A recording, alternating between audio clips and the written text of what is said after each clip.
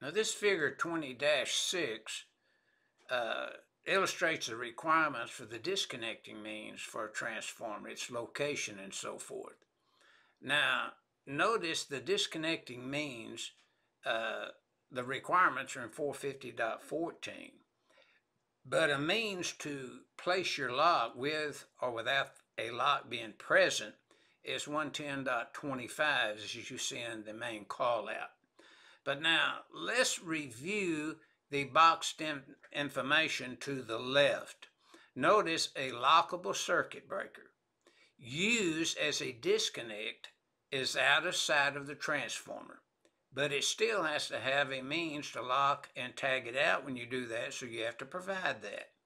Uh, in which you can purchase a, a, a means to place over the breaker handle that would uh, provide a means to provide a lock with excuse me, with or without a lock being present.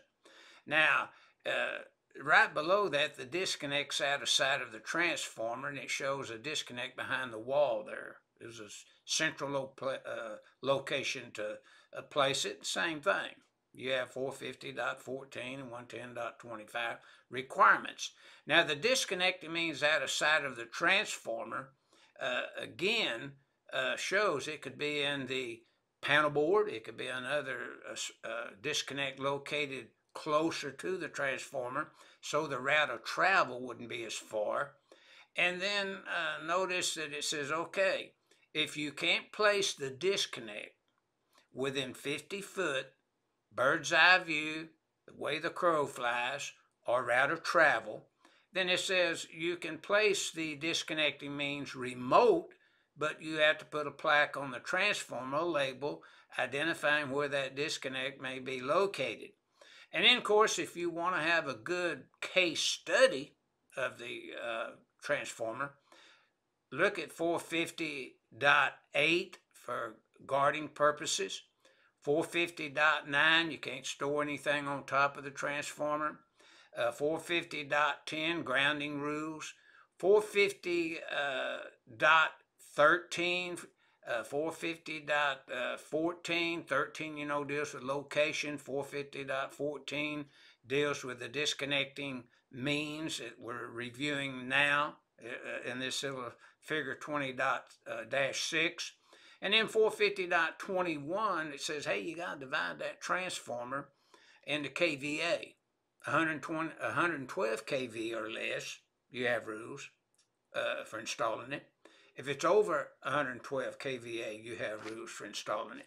So those are very important that you review uh, these callouts.